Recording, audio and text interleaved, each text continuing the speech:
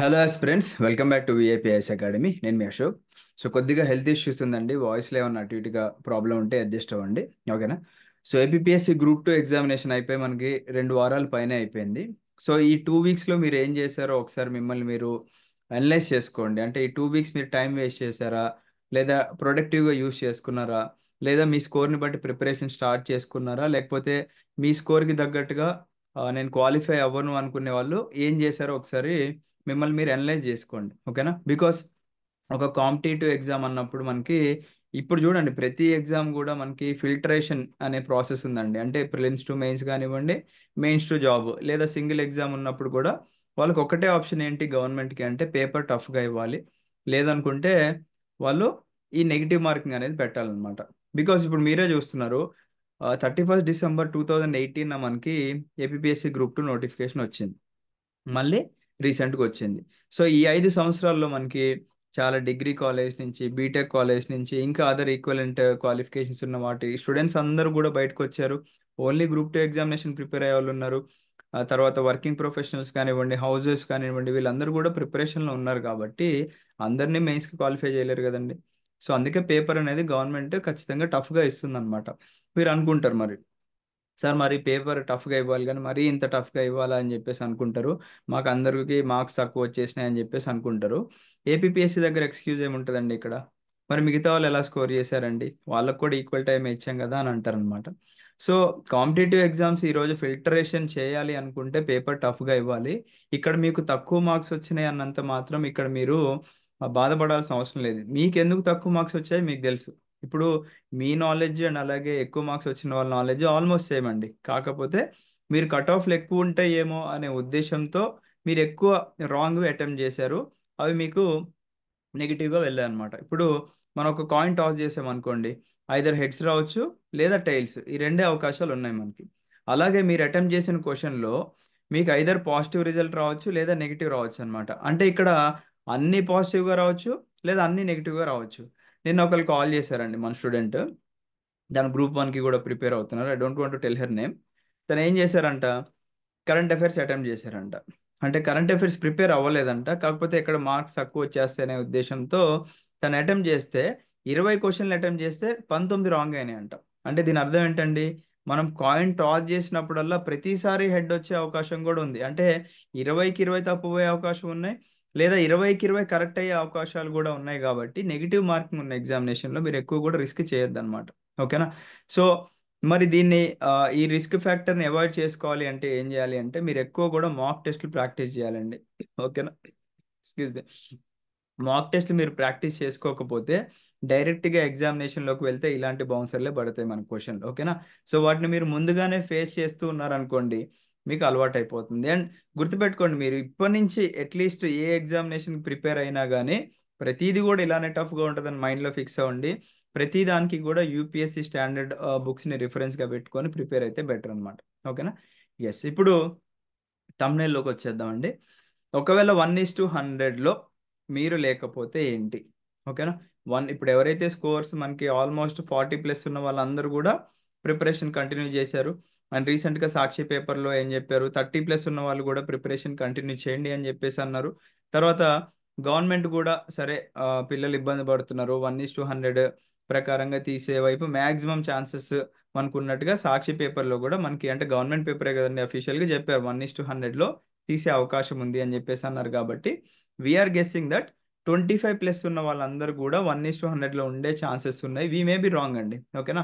ఇక్కడ మీరు ఎలా చెప్తున్నారు అని అనొచ్చు. This is completely guess work అనమాట మేమేమనుకుంటున్నాం అంటే వన్ ఈస్ టూ హండ్రెడ్ తీస్తే ట్వంటీ ఫైవ్ ప్లస్ ఉన్న వాళ్ళందరూ కూడా అర్హులు అవుతారు ఒకవేళ తీయకపోతే అరౌండ్ ఫార్టీకి ఫార్టీకి అటు ఇటుగా మనకి కట్ ఆఫ్ ఉంటుందని మేమైతే ఎక్స్పెక్ట్ చేస్తున్నాము. But we may be wrong ముందే చెప్తున్నాం రైట్ ఓకే ఇప్పుడు క్వాలిఫై అయిన వాళ్ళు ప్రిపరేషన్లో ఉన్నారు రైట్ క్వాలిఫై కాని వాళ్ళ పరిస్థితి ఏంటి? ఒకవేళ రిజల్ట్ వచ్చిన తర్వాత మీరు ఏం ప్లాన్ చేసుకోవాలి అంటే నా సిన్సియర్ సజెషన్ ఏంటి అంటే యాక్చువల్గా ఈ ఇయర్లో మనకి ఇయర్ అంటే లైక్ బిఫోర్ ఇయర్లో టూ థౌజండ్ ట్వంటీ త్రీలో ఏప్రిల్లో మనకి గ్రూప్ టూ సిలబస్ అనేది చేంజ్ చేశారు. అది మీ అందరికీ తెలిసిన విషయమే. దాని ప్రకారంగా మనకి నోటిఫికేషన్ ఇచ్చారు. బట్ ఏపీఎస్సి గ్రూప్ వన్కి కూడా సిలబస్ చేంజ్ చేసి అది వచ్చింది.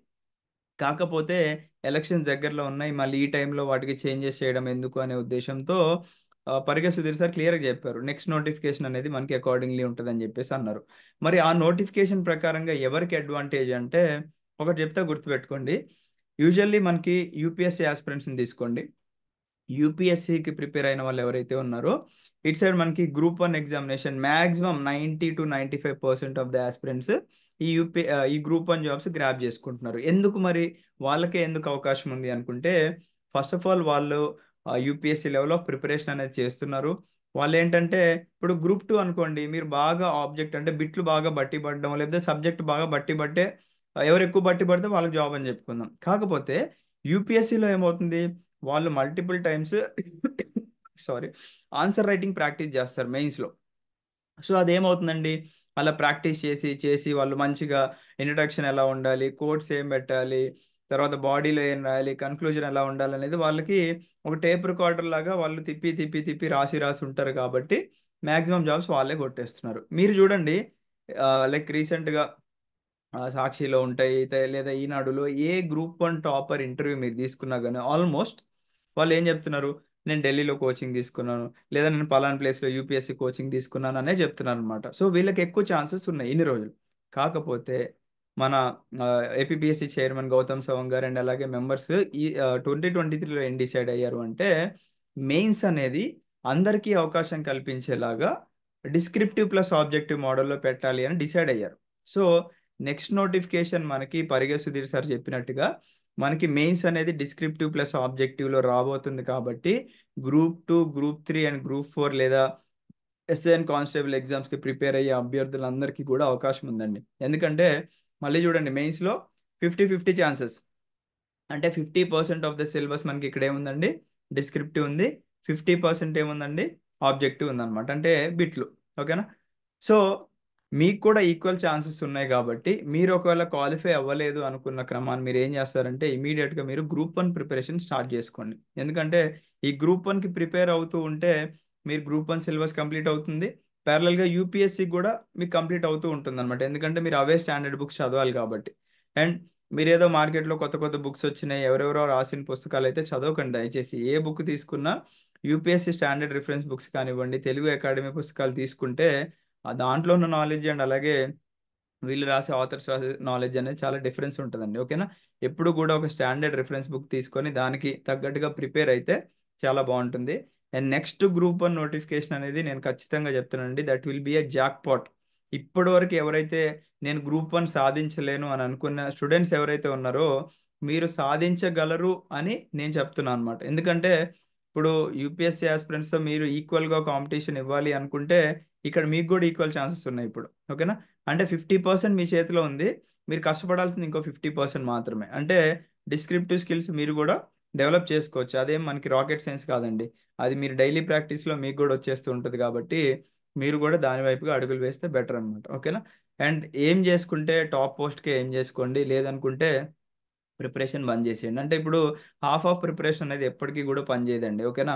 ఇప్పుడు ఏదో నేను ప్రిలిమ్స్ క్వాలిఫై అయ్యాను అని చెప్పేసి గొప్పలు చెప్పుకుంటే దాంట్లో ఏం లేదండి. ఓకేనా? ఇప్పుడు గ్రూప్ టూ ప్రిలిమ్స్ మీరు క్వాలిఫై అయ్యారు.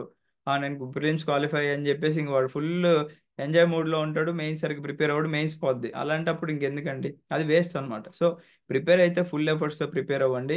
అండ్ ఈ రోజుల్లో మనకి బ్యాకప్ జాబ్ అనేది కంపల్సరీ అయిపోతుందండి. ఎందుకంటే మనకి ఐటీ ఫీల్డ్‌లో చూసుకున్నట్లయితే ఎక్కువ లే ఆఫ్స్ ఉన్నాయి. అండ్ మనకు ఓపెనింగ్స్ కూడా ఎక్కువ పడట్లేదు.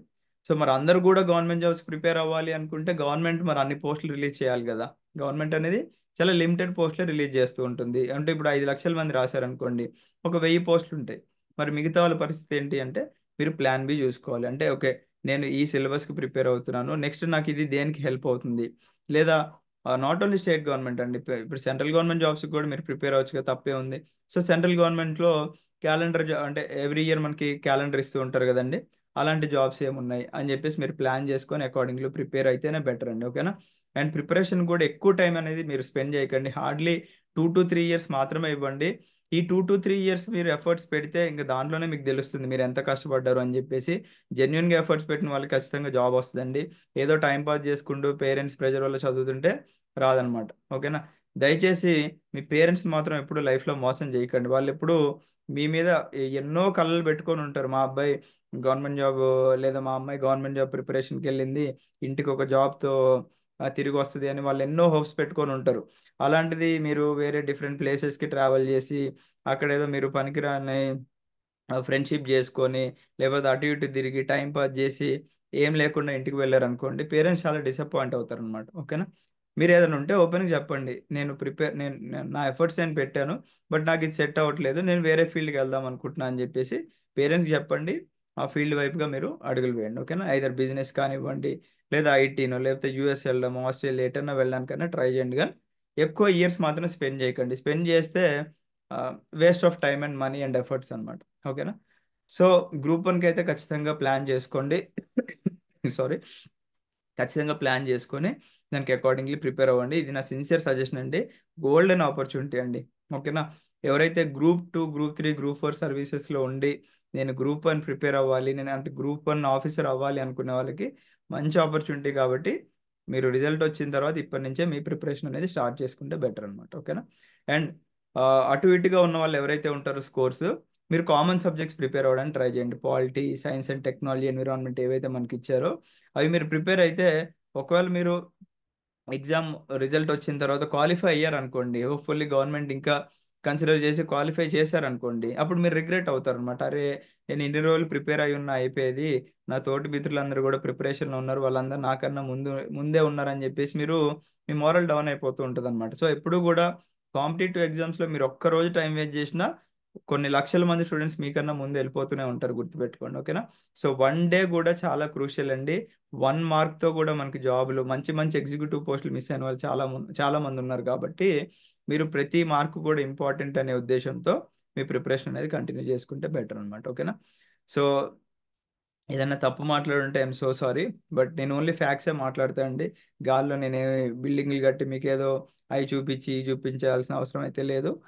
మీకేంటంటే రియాలిటీ తెలియాలి. ఇప్పుడున్న సిచ్యువేషన్స్లో పేపర్ ఇలానే వస్తుంది టఫ్గానే వస్తుంది. మీరు కూడా దానికి తగ్గట్టుగా ప్రిపేర్ అవ్వాలి. అండ్ ఏపీబీఎస్సీ దగ్గర కూడా దానికి తగ్గట్టుగా ఎక్స్ప్లెనేషన్ ఉంటుంది అనమాట మిగతా స్టూడెంట్స్కి ఎందుకు ఎక్కువ మార్కులు వచ్చినాయి? మిగతా స్టూడెంట్స్ ఎందుకు వాళ్ళు స్కోర్ చేయగలరు అంటే no answer from us right?